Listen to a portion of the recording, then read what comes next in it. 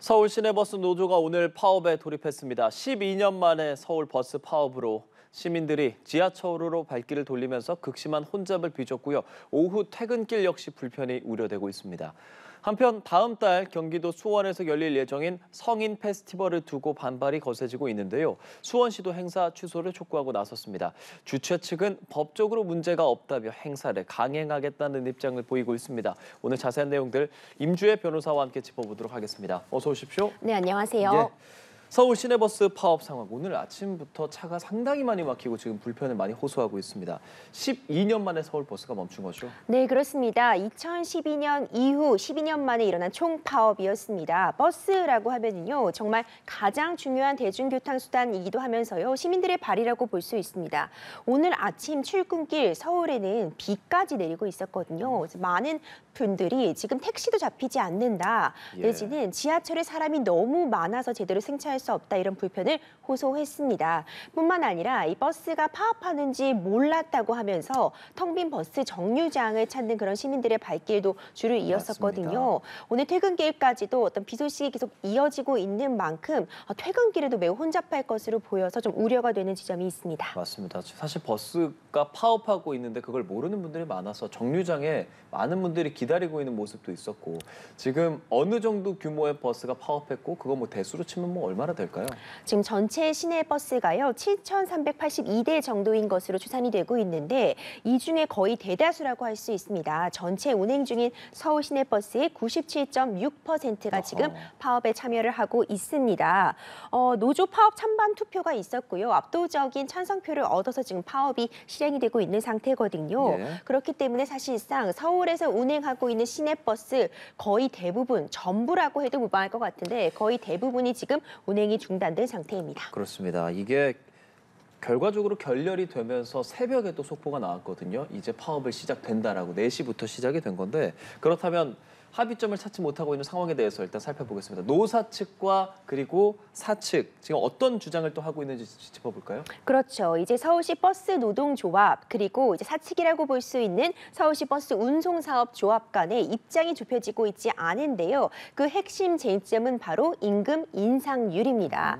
지금 이 조합 측에서는요. 어, 노동조합에서는 지금 임금 상승률을 고려할 때 그리고 또 가장 문제되는 부분이 지금 버스 관련해서 예. 인천이나 경기 지역에서 서울로 출퇴근하는 그런 인구가 굉장히 늘어났잖아요. 그러다 보니 인천이나 경기 지역에 어떤 버스 수요가 폭발적으로 증가하게 되면서 많은 버스 기사들이 그쪽으로 옮겨가는 그런 모습도 보여줬습니다. 이런 대규모 인력 이탈 현상은 결국 서울 시내 버스의 어떤 임금 인상 문제와 맞닿아 있기 때문에 음. 이런 부분 인력난을 해소하고 지난날의 어떤 물가 상승률과 맞추려면 이 운송 버스 노동조합 측에서는 12.7%의 시급 인상을 요구하고 12.7%, 있습니다. 예. 네, 그렇습니다. 한편 사측이라고 볼 수 있는 서울시 버스 운송조합 측에서는요, 2.5%의 인상을 주장을 하고 있습니다.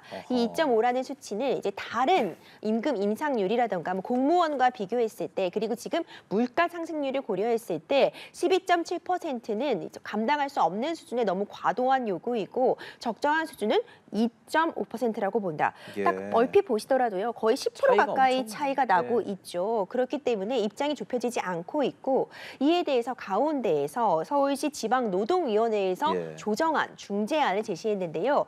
그 임금 인상률이 6.1%였습니다. 6.1%요. 그러니까 최종적으로 그렇다면 양측이 이렇게 이 임금 인상률에 대해서 갭이 크니 6% 정도에서 맞춰보는 건 어떠냐 이렇게 제안을 음. 했지만 사실 노동조합 측에서도 사측에서도 모두 이 부분에 대해서는 거절을 한 상태이기 때문에 결국 이번 이 오전 4시를 기해서 예. 총 파업에 돌입을 하게 되었습니다. 계속 물밑 접촉을 하고 있다는 소식들은 전해지고 있는데 말씀하신 것처럼 지금 입장차가 상당히 큰 상황이잖아요. 이렇게 되면 이 파업이 좀 장기화될 가능성까지도 걱정할 수밖에 없겠는데요. 그렇죠. 앞서 말씀드린 것처럼 예. 지금 12%대 2%대 그러니까 이 입장차가 굉장히 크게 자리하고 있어서요. 중재안인 6%대도 지금 양쪽 다 받아들여지지 않은 상태이기 때문에 협상의 난항은 예상이 되지만 예. 그래도 다행인 지점은요. 이 협상이 결련된 이후에도 실무진과의 접촉이 계속되고 있다고 전해지고 있습니다. 그렇기 때문에 어떤 협상의 물꼬, 대화의 물꼬는 여전히 터져 있는 상태로 충분히 이 부분에 대해서 얘기가 오고 갈 것으로 보이고요. 일단 이렇게 임금 인상 부분 그 외의 쟁점들에 대해서 노사 측이 협의를 하는 것과는 일단 별도로 이미 파업이 시작이 됐거든요. 그렇기 때문에 당장 지금 시민들의 발 이동 수단에 대한 부분 해결돼야 되기 때문에 예. 긴급한 조치로요. 특히 혼잡 시간이라고 볼 수 있죠. 이제 아침 6시에서 9시까지 출퇴근 시간 그리고 저녁 6시에서 9시까지 이 집중적으로 많은 시민들이 이동하는 출퇴근 시간에 지하철 운행을 늘리고 지하철이 가지 않는 그런데 마을 버스가 운행하지 않는 그런 지점들도 있잖아요. 예. 그런 곳에는 셔틀버스를 투입하는 등 일단 정책들을 서울시에서도 강구하고 있다고 전해지고 있습니다. 오세훈 시장도 요 시민들의 일상이 문제지지 않도록 조속히 해결을 하겠다면서 이제 미안한 마음을 밝히기도 했는데 이 부분에 대해서 이제 양측 사측과 노동조합 측의 빠른 협상 타결과 더불어서 그동안 시민들의 불편함을 최소화할 수 있는 그런 조치들도 성급하게 좀 들어와야 될 것 같습니다. 예, 그래도 사실 버스가 없으면 불편할 수밖에 없을 거니까요. 일단 뭐 새벽 막차 시간 2시까지 연장한다고 하니까 참고하시면 좋을 것 같고요. 관련해서 협상이 되거나 결렬되는 내용도 저희가 바로 보도해 드리겠습니다. 주제를 좀 넘어가 볼게요. 수원에서 성인 페스티벌이 열릴 것이다라고 해서 논란이 되고 있습니다. 일단 성인 페스티벌이 무엇일까 시청자분들 좀 궁금해하실 것 같거든요. 네, 성인 페스티벌 딱 이름만 들어서 와닿는 부분이 좀 애매할 수 있는데요.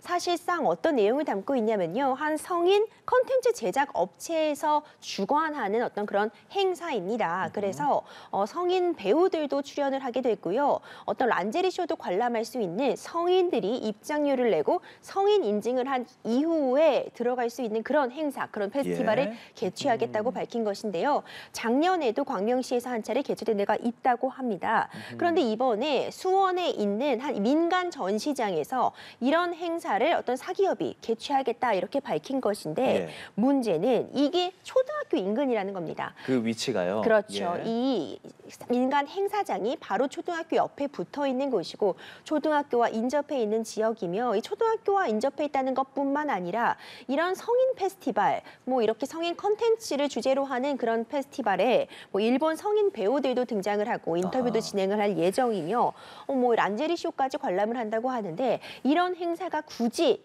개최가 될 필요가 있냐는 지적까지 나오고 있으면서요. 여성단체 측에서는 이건 성착취적인 행사다라고 반발을 하고 있고 수원시에서도 수원시에서 이런 행사를 개최하는 것에 결사 반대한다는 입장을 피고 있는 상태입니다. 예, 수원시 반대하고 행사 취소하라고 시장이 나서서 얘기하고 있고- 있고 여성단체 입장도 말씀해 주셨는데 하지만 주최 측은 이거 법적인 문제 없다라고 말하고 있습니다. 주최 측 입장 좀 말씀해 주실까요? 그렇죠. 주최 측에서는 이미 말씀드린 것처럼 지난해 12월에도 광명시에서 유사한 행사, 동일한 행사가 개최된 적이 있었고 지금 이것이 어떤 공적인 행사라기보다는 사적으로 어떤 그 개인적으로 어떤 전시실을 빌려서 하는 행사인데 문제될 부분이 없다 이렇게 밝히고 있습니다. 특히 뭐 아이들에게 유해한 환경이다 이런 지적에 대해서는 성인 인증을 받은 이후에 그리고 유료로 진행되는 행사이기 때문에 충분히 성인들만 입장이 가능하도록 통제할 것이다 이런 입장을 피고 있습니다. 그렇기 때문에 이 페스티벌의 주최 측에서는 누구나 자유롭게 행사를 누릴 수 있는 것이 아니라 성인을 인증하고 들어가야 되고 예. 입장료도 있으며 이런 부분에 대해 조치를 취했기 때문에 문제될 것이 없다 이렇게 밝히고 있고요. 이에 반해서 말씀드린 것처럼 수원시 측이나 이제 교육 측에서는 아이들의 교육상 좋지 않으며 이런 행사가 굳이 개최될 필요가 있는가 하는 강경한 입장으로 맞서고 있습니다. 예, 시각의 차가 존재하는 것 같 은데 조금 전에 짚어주셨다시피 행사 장소가 일단 초등학교 옆이라는 점이 가장 화제가 되는 문제기는 그렇죠. 해요. 수원, 수원 교육지원청에서 수원 시는 물론 경찰에다가 법률에 따른 조치를 해달라라고 했습니다. 여기서 말하는 법률에 따른 조치가 어떤 걸 의미하겠습니까? 네, 맞습니다. 그 수원시 교육청에서도 엄정한 좀 조치를 요구한다고 밝히고 있는데요. 네. 교육 환경 보호에 관한 법률이라는 것이 마련이 되어 있습니다. 이 법률에 따르면 학교에서부터 이제 가장 가까운 출입문에서부터 한 21m 정도까지는 우리가 절대 보호 구역이라고 하고요.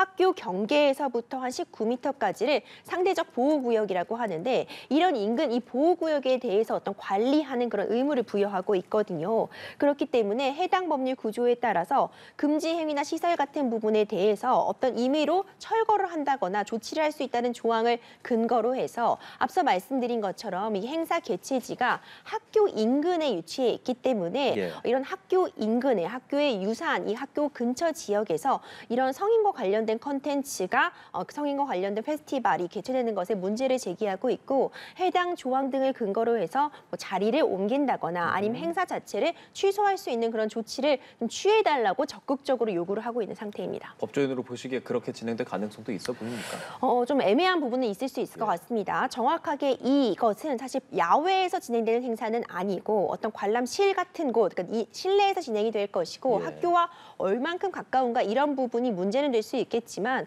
그런 부분을 제외하고서라도 어쨌든 아이들에게 유해한 영향을 충분히 줄 수 있는 그런 페스티벌이 굳이 학교 주변에서 펼쳐질 필요가 있겠는가도 문제가 될 것 같고요. 예. 이런 부분이 이제 홍보 포스터라던가 각종 이제 광고들이 진행이 될 텐데 그렇다면은 학교의 교육 환경에 있어도 영향을 줄 수 있는 부분이 충분히 있기 때문에 뭐 법적으로 자꾸 해결을 하려 하기보다는 좀 양측이 좀 대화를 통해서 장소를 이전한다거나 예. 아니면은 이 수위라던가 이런 부분을 좀 조절하는 그런 방향 은 좀 필요해 보입니다. 그러면은 주최 측이 장소 바꿔서 진행한다고 하면은 법적인 문제는 없어지는 걸까요?